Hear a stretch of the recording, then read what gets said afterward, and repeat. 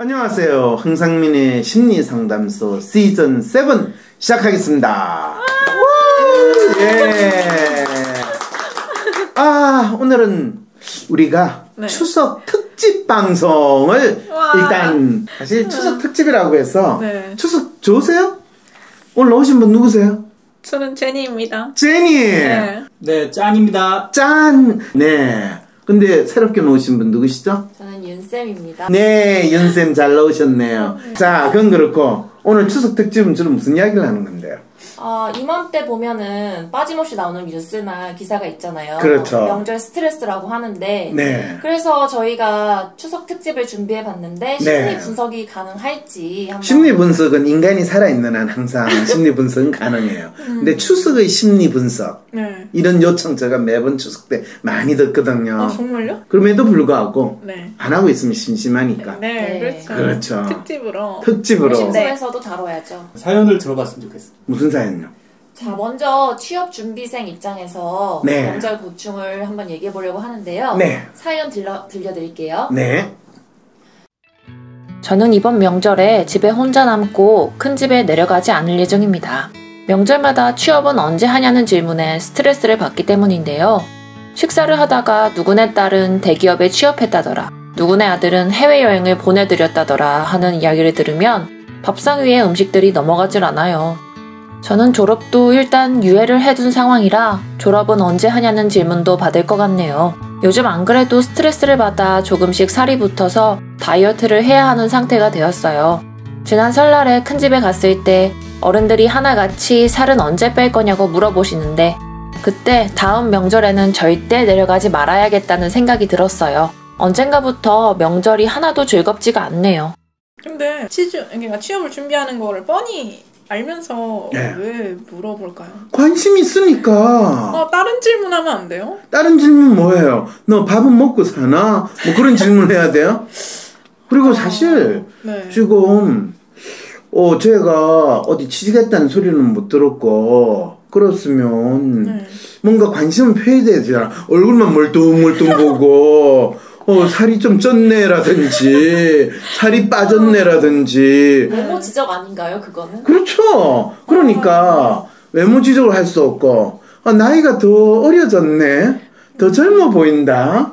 얼굴 좋아 보인다. 그런 이야기 하면 남은 지금 취직을 못 해가지고 속이 타 들어갔는데 내 보고 얼굴 좋아 보인대도 그것도 열받을 거고 그렇다고 나를 보고 아무 이야기 안 하고 아 제가 힘드니까 내가 그냥 못 본 척하면 아니 저 아저씨는 오랜만에 봤는데 날 보고 아는 채도 않네. 상당히 곤란하거든요. 인사하시는 친척분 어르신분도 힘드세요. 그럼 그게 친근하다는 표시인가요? 아 그럼요. 나 너 안다. 아너 오랜만에 봤다. 이럴 때 내가 취준생이다. 네. 그럴 때는 그냥 머뭇머뭇하면서 뭔가 네. 질문을 해올 때까지 기다리면 안 돼요. 음. 아, 아. 진짜 어른을 딱 봤을 때, 네. 아! 인사드리고, 네. 그랬을 때, 너 요즘 뭐하니? 라는 질문을 하면 당당하게, 저 취업 준비하는데, 어, 용돈이 부족합니다. 오, 어, 후원할 거를 네. 좀 바라고 있습니다. 아. 이 삼촌, 또는 큰아버지, 또는 숙모, 사시는 게 힘드시긴 하겠지만은, 그래도 이 조카를 위해서 혹시 후원해 주실 생각은 없으십니까? 10년 후에 제가 10배로 갚아드리겠습니다. 이렇게 당당하게 인사를 하면, 뭐 하다못해 만 원이라도 꺼내가지고 줄 거 아니에요. 또 그건 그렇네요. 네. 생각, 그런 생각을 왜 못했어요? 왜 그런 생각을 못해요? 왜 재지은 사람처럼 쭈삣쭈삣하고 왜 날 보고 그래? 이분도 보여요. 집에 혼자 남고 큰 집에 내려가지 않을 작정이래요. 왜? 네. 아니 뭐 명절마다 취업을 언제 하냐 이런 질문에 스트레스를 받는데 그걸 왜 스트레스를 받아? 나는 지금 취업 준비생이고 그래서 이 공부해야 될 것도 많고 컵밥 먹으면서 지내야 되니까 힘드니까 어 영양 보충 오랜만에 좀 하게 상도 맛있게 좀 차려주시면 안 될까요? 이야기도 할 수 있는 거고 용돈도 오랜만에 뵀으니까 1년치 용돈을 오늘 다 주시면 제가 마다하지 않겠습니다 라고 이야기하면 되는 거고 아, 근데 그것도 그건데요. 친근하다고 생각하면 그렇게 사람의 내면에 있는 문제를 또는 고민하고 있을 것 같은 질문을 그렇게 마음대로 질문해도 된다고 생각을 하는 거죠. 왜? 아, 그럼요. 내 네 마음 안다. 우리가 남이가 이러면서 물어보면서 친밀감을 더 느끼고 있다는 거야. 근데 많은 사람이 그런 질문을 받을 때는 되게 그걸 공격받거나 아니면 감추고 싶은 거가 자꾸 드러내는 기분이 그걸 우리는 있잖아요. 뭐라고 그래요? 자책하고 자학하고 자기 비하의 심리가 있기 때문이라는 거야. 음, 아까 그랬잖아요. 네. 어, 자기한테 그렇게 걱정하면 걱정되시면 10만 원. 걱정이 조금 크시면 20만 원. 딱 청구서 내듯이 내면 되잖아요. 아 그건 좋은 아이디어인 것 같네요. 하나 이렇게 포장 이렇게 프린터 해가지고 가면 좋긴 하겠네요. 그럼요. 아니 적어도 그런 준비가 있고 그런 열정이 있으면 아니 없는 돈 빌렸으라도 아마 삼촌도 주고 큰아버지도 주고 숙모도 줄 거예요. 근데 그게 한 번밖에 안 통하지 않을까요? 아니 그러면 2년째, 3년째 되면 2년째, 3년째 이 본인이 취업 준비하고 있다고 그러면 네. 그건 본인이 지금 잘못 생각하고 있는 거죠.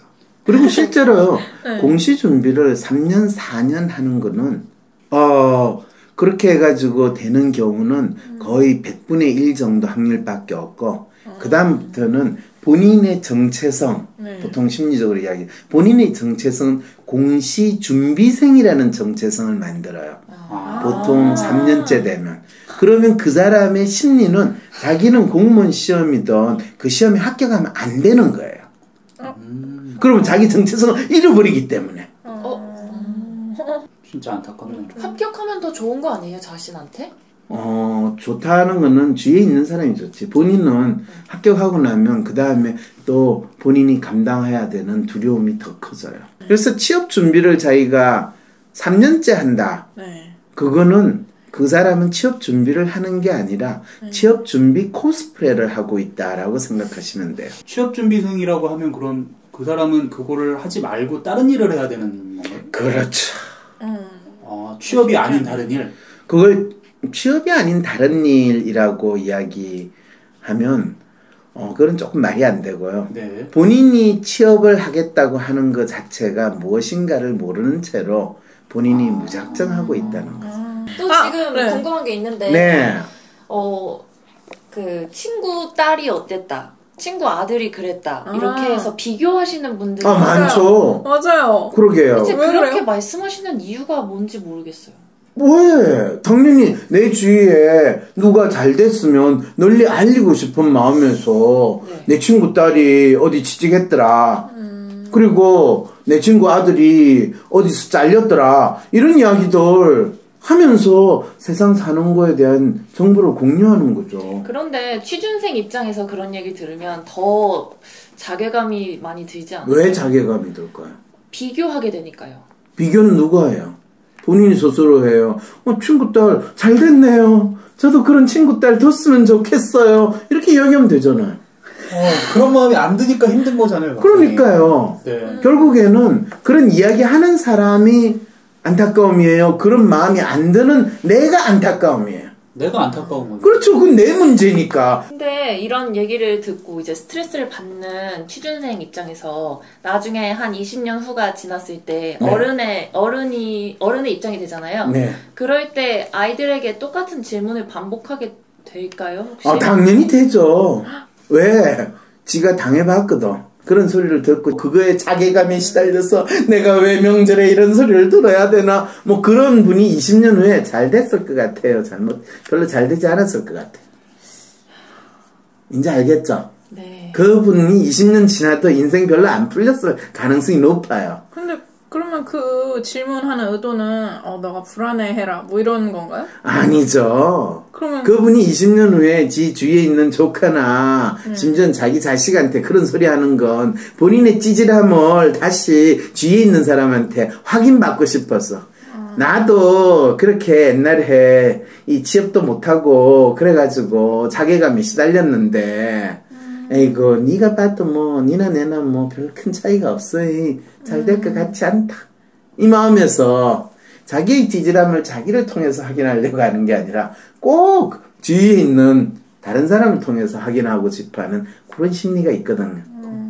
근데 근데 그러면 그 저도 지금 이제 슬슬 조카들이 뭔가 오랜만에 보는 조카들한테 인사를 할 때나 뭐 인사를 받으면서도 그러니까 요즘 어떻게 지내니? 라고 물어볼 만한 얘기거리나 뭐 이런 게 있을까요? 아까 공시생이 이렇게 용돈을 타는 방법이 있듯이 박사님은 혹시 조카들한테 어떤 얘기를 하세요? 아, 조카들한테요? 네. 아, 예를 들면, 뭐, 고3짜리 조카를 어차피 명절에 볼 거 아니에요. 네. 네. 잠시라도. 네. 네. 어이, 요즘에 힘들지? 음. 그러면서 다 꺼내서 주는 거로. 조카, 조카가 되고 싶네요. 아, 그래요? 아, 짠씨. 그런 삼촌이 있었으면 맨날 찾아갔겠네. 아, 그런데. 어, 저도요. 어, 진짜요? 맞아, 진짜, 어, 진짜? 네. 어, 우리 조카들은 다 어디 간 거야? 왜 안 오는 거야? 돈이 작았나 봅니다. 아니에요. 아 근데 그 아까 말했던 그런 너스레 그런 것도 약간 뭔가 좀 통하는 사람이 있고 안 통하는 사람 분이 있잖아요. 그렇죠. 그, 그러니까 뭔가 그런 딱딱한 분들은 약간 의도가 뭔지 진짜 지적하기 위한 건지 약간 그런 당신이 의문이- 잘났다는 걸 확인받기 위해서, 아 그런 거예요. 어, 너 그렇게 살면 안 된다. 네. 날 봐. 내가 얼마나 열심히 살았는지. 네. 인생은 그렇게 나약하면 안 돼. 뭐 이렇게 네. 이야기하시는 분 있잖아요. 그런 분일수록 참 천굿을 내야 되는 거죠. 아 당신이, 당신이 잘났다는 것을 확인받으시려면 50만 원. 아, 버전이 두 개 정도 있어요. 그렇죠.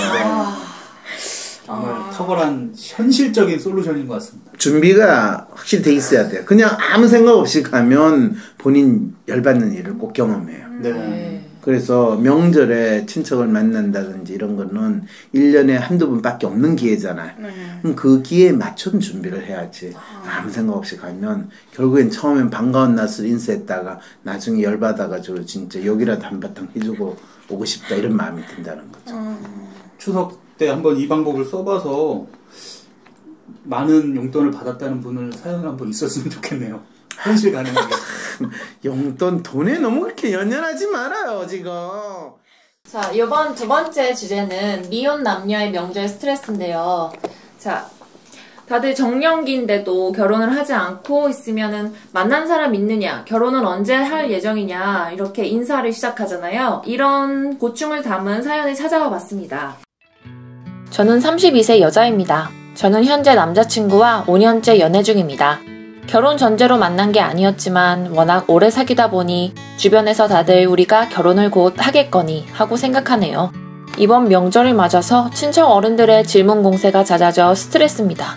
인사말을 아예 결혼 언제 할 거니? 라고 시작하시는데 아니 결혼식은 쉽게 하는 건가요? 돈이 있어야 뭐 결혼을 하죠. 얼마 전에 하도 참다가 폭발해서 그만하라고 화냈더니 다음부턴 안 하더라고요. 화를 내서 종결됐지만 그래도 기분이 좋지 않네요. 사실 결혼을 하면 희생해야 하는 것 투성인데 게다가 저는 아이를 낳을 생각도 없고요. 그래서 결혼을 하고 싶다기보다는 그 반대인 생각으로 기울고 있어요. 저희 부모님 하나 챙기기도 힘든데 챙겨야 할 가족이 하나 더 늘어난다고 생각하니 못할 짓 같습니다. 그나저나 결혼 계획 없다는 제 생각을 어른들께 말씀드리면 뒤집어지시겠죠? 근데 이 사연은 참 본인이 지금 네. 5년이나 사귄 남자친구도 있고 네. 근데 결혼을 하라니까 사실 이분은 지금 그냥 남자친구하고 지내는 게 속 편하고 좋은 거지 굳이 결혼할 필요를 못 느끼잖아요. 네. 네. 자 그런데 어 이웃 어른들이 또는 친척 어른들이 그것도 다 알고 있어 남자친구 있다는 것까지도 알고 있어. 음. 근데 그분들 입장에서는 아니 애인이 있고 오래 사귀었으면 당연히 결혼한다고 생각하니까 결혼 언제 하니 묻는데 왜 화를 내요?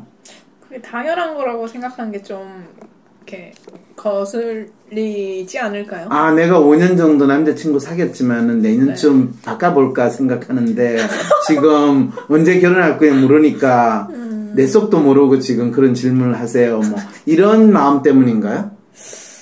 음. 제가 어련히 할 때 되면 하겠거니 이렇게 왜 내, 내버려 두지 않을까. 아 그분 입장에서야 네가 어련히 할 때 되면 니는 아직 어려서 그걸 못 찾을까 미리 확인차 아, 그 어리다고 생각하는 게 좀 기분이 나쁜 것 같아요. 결혼 안 하면 다 어린 거예요 어, 음, 왜요? 오, 예.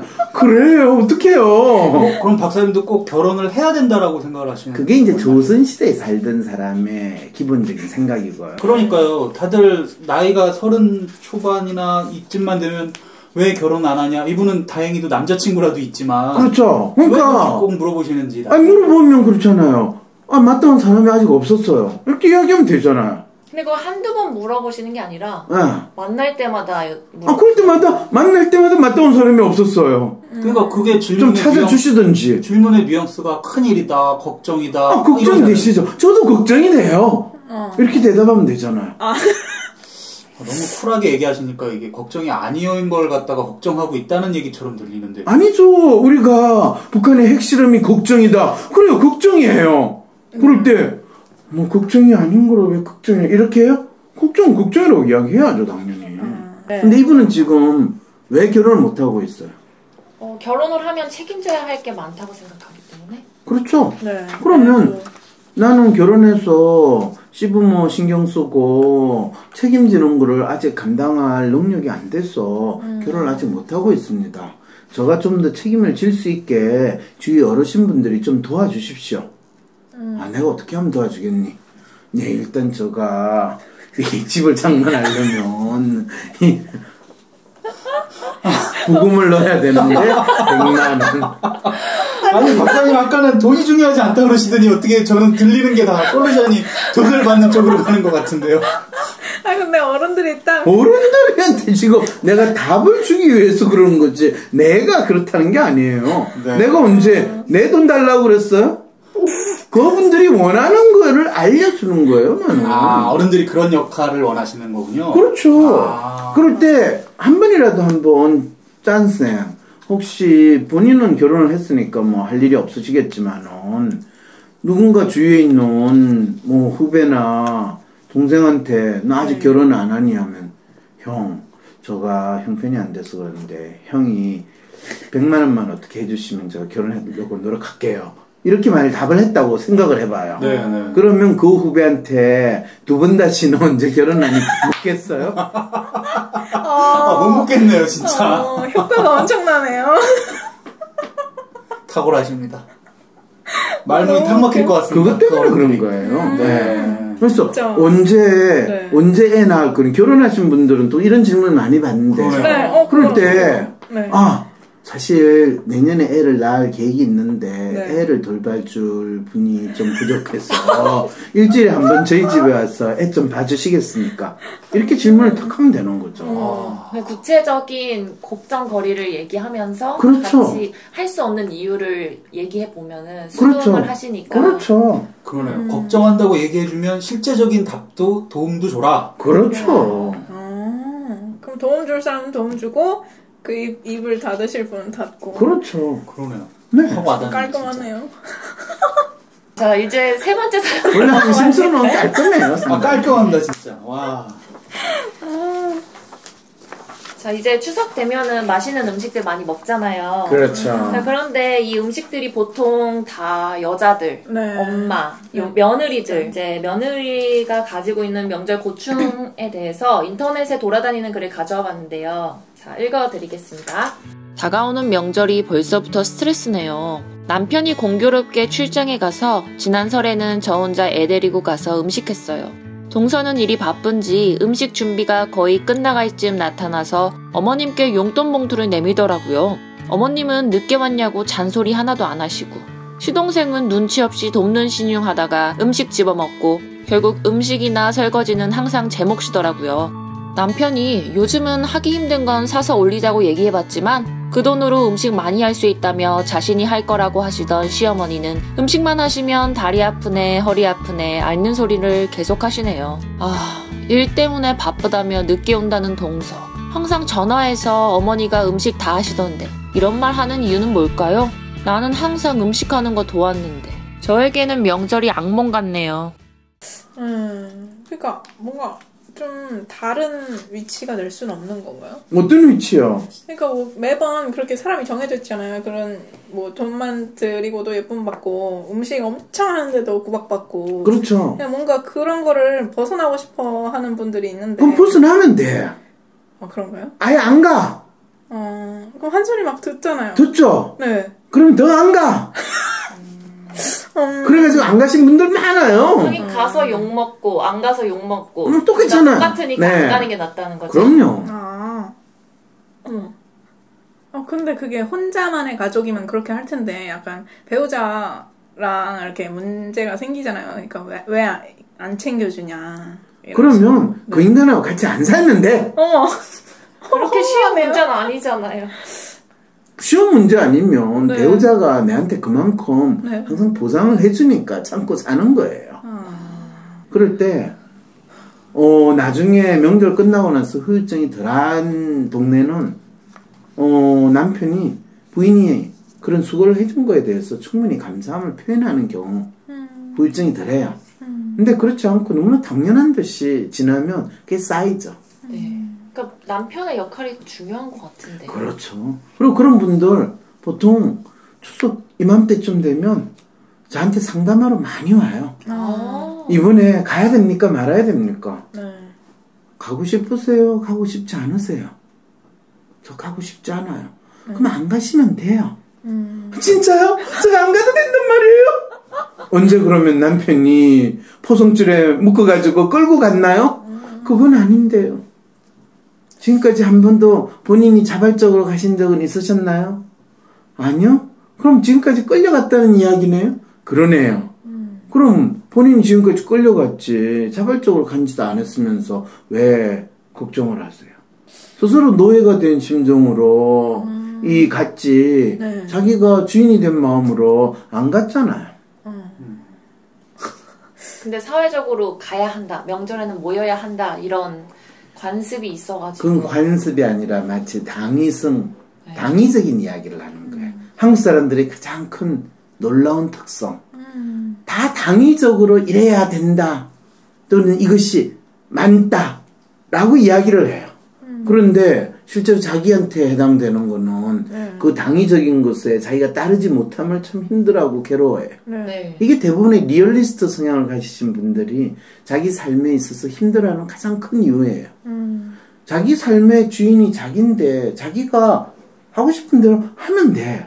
그런데 그렇게 하자니 당위적으로 이래야 된다는 것에서 벗어나는 것 같고 나는 그러면 착한 사람이 못 되는 것 같고 어. 내가 편하자고 이 부모님한테 시부모님한테 나쁜 며느리 나쁜 자식이라는 소리를 듣는 거는 제가 참을 수 없어요. 그럼 착한 사람이 되든지 그렇게 하자니 너무 힘들어요. 그러면 네 편한 대로 하든지 그렇게 하자니 제가 너무 죄책감이 있었어요. 이러지도 저러지도 못하고 지내고 있어요. 그럼 그럴 땐 어떻게 생각을 좀 바꿔서 행동할 수 있을까요? 정해야죠. 자기가 착한 사람으로 살 건지 아니면 자기 삶의 주인으로 살 건지. 그런데 그럴 때 결국에 명절이라는 게 사실은 옛날에 그냥 한 불악의 공동체로 농사 짓고 살 때는 명절이라는 게 1년에 농사 지은 수확물을 같이 나누면서 이 기뻐하는 일종의 축제의 장이 됐는데 지금 농사 짓는 사람이 인구의 10%도 안 되는 나라에서 명절이라는 게 어떤 의미가 있는가 바뀌어야 되거든요. 네. 오랫동안 못 봤던 친척들이 보이고 가족들이 모이게 됐을 때 거기에서 우리는 어떻게 지내야 되는가 시대의 변화에 맞게 어떻게 그 사람들하고 대화를 나눠야 될 것인가 그런 것들에 대해서 생각을 해야 되는데 지금 뭐야? 이 누가 이 음식을 더 해야 돼? 누가 지금 선물로 때우고 돈 봉투로 때우는데 내가 그거를 보고 열받아 하고? 그러게요. 이렇게 생각했을 때는 얼마나 명절에 가족이 모인다는 것의 의미에 대해서 스스로 자기가 판단을 못하고 있다는 거예요. 그냥 그동안 해왔던 대로 그냥 끌려가는 진짜 소 닭처럼 내가 지내야 된다는 본인이 진짜 도그나 카우나 또는 개돼지로 산다는 것처럼 자기를 표현하고 있잖아요. 명절 하면 저는 개인적으로 좀 궁금한 게 한 가지 네. 있었는데요. 주변에서 많이 보게 되는 게 이제 노쇠하신 어르신 부모 모시는 문제로 많이 다투잖아요. 그렇죠. 그리고 제가 가장 그 심리가 궁금했던 부분이 최근에는 이제 요양원에 많이들 모시는데 그렇죠. 그거를 모시는 거를 불효라고 생각하면서 가족끼리 다툼이 굉장히 많더라고요. 그게 참 이 본인이 진짜 자기 욕망이 뭔지 모른 채로 마치 그 당위성 이걸 주장하는 때문에 이 갈등이 일어나요. 재밌는 게 거의 치매기가 심하신 부모님이 있어요. 형제들이 모였어. 뭐 다 효심이 있는 자식들이겠죠. 그렇지만은 이 치매에 있는 노인을 집에서 모신다는 거는 현실적으로 거의 불가능하잖아요. 네.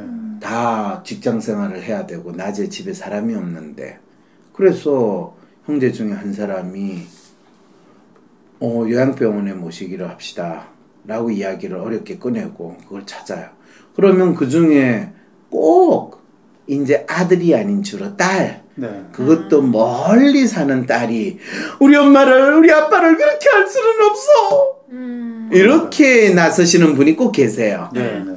그러면 형제들이 "어, 참 안타까운데 그럼 너가 모셔라.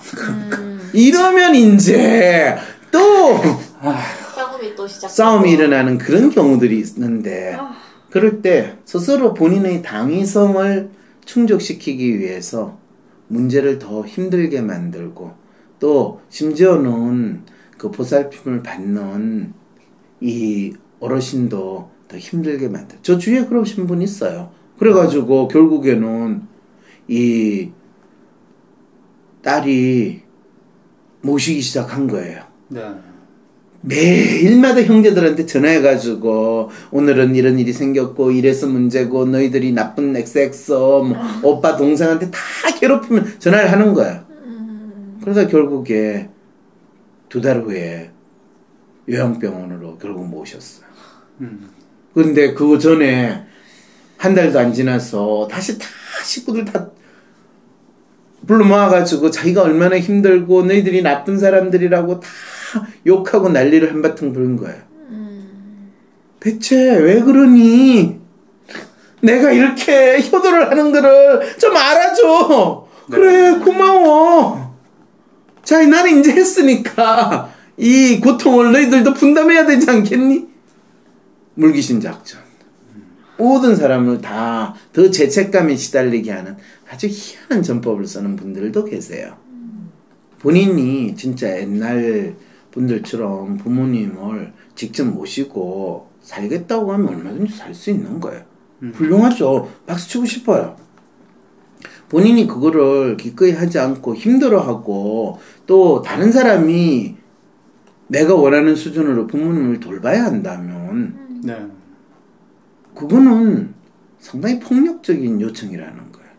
본인의 당위성을 충족시키기 위해서. 아 그런 분들 많아요. 많아요. 정말 어려운 문제구나라는 생각이 다시 드네요. 이제 알겠죠. 그거는 결국에 중간에서 그 당위성을 주장하는 인간들이 문제를 야기하고 있다는 이야기라는 거예요.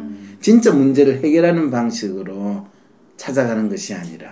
네. 그럴 때 그 사람들의 각자 숨겨진 욕망이 있다는 거죠. 네. 그 치매기가 있는 부모님을 굳이 직접 모셔야 된다고 주장하는 그 형제의 욕망은 본인이 그동안 부모님한테 제대로 못한 거를 이기에 완전히 일거에 만회하겠다라는 욕망일 수도 있고 본인 스스로도 인정하기 힘든 욕망이 있는데 그 욕망을 구분하라라고 하는 이야기 위에 더 구체적으로 이야기하기가 힘들다는 거죠. 네. 그래서 그런 고민을 가지신 분이 있으면 개인 상담을 받으시면서 본인이 어떻게 보면 가장 현실에서 어려움을 또 많은 사람들하고 잘 어느 정도 수용할 수 있는 방법이 아니라 모든 사람을 괴롭히고 죄책감을 야기하는 방법을 주장하게 되는 네. 그또 다른 이유를 인식하게 되면 그 행동을 하지 않게 되죠. 네. 그래서 그런 분 있으면 꼭 상담을 먼저 받으시라고 그러세요. 네. 알겠습니다. 다 됐나요? 네. 네. 수고하셨습니다. 네. 고맙습니다. 기획의 윤다은 연정아, 편집의 연정아였습니다. 헬조선에서의 심리 독립을 돕는 방송 황심소입니다. 황심소가 더욱 많은 사람들의 심리 독립을 도울 수 있도록 후원해 주세요. 방법은 아주 간단합니다. 네이버에서 황심소 골뱅이를 검색해 주세요. 황심소 홈페이지 후원하기 메뉴에서 바로 신청 가능하십니다. 여러분, 팟빵 말고 황심소 홈페이지에서 꼭 후원해 주세요. 홈페이지 주소는 황심소.모두.at입니다. 안정적인 직장 번듯한 집과 차 부자가 되면 행복할 수 있을까 만약 대통령이 바뀐다면 그분이 날 구원해 줄 수 있을까 힐링도 위로도 이젠 지친다고 하네. 다들 문제 렁뚱한데서 찾네. 이거 다 거짓말하는 걸 아시죠? 저는 속았습니다. 이제 속지 말고 황심소들을 차례 너와 날 제대로 알고 싶다면 남탓 그만하고 홀로 서고 싶다면 새로운 변화를 만들어 가고 싶다면 후원하기 클릭. 황상민의 심리 상담소